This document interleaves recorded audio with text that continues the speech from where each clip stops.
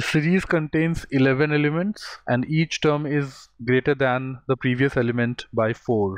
These are all positive integers. So what matters is suppose the first term is 5, the other terms are going to be 9, 13 and they're going to be 11 terms. So see as long as the gap is known and the number of terms is known, the standard deviation can be determined. You don't actually have to know the exact terms. Even if this were 35, 39, 43, 11 terms in this series, the standard deviation would be the same because standard deviation is about what is the difference between the terms. It's not about what the terms are.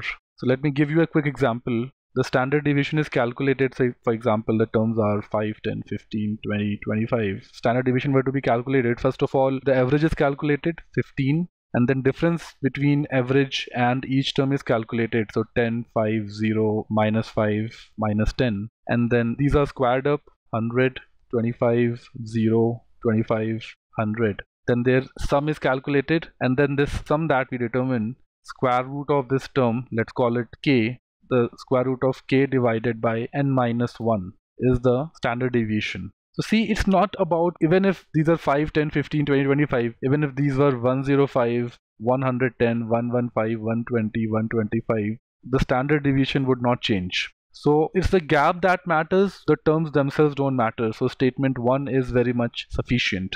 Statement 2 talks about only the first element, it doesn't talk about the gap the gap is important the number of terms are important sorry the gap is already given the gap is 4 but it doesn't talk about the number of terms we need the number of terms statement 2 is not sufficient some students would choose option C thinking that the first term is needed. This is a trap. The point is that the first term is not needed as long as the gap is known. Gap we know from the question only the gap is 4 every time and statement 1 gives us the number of elements and therefore statement 1 alone is sufficient.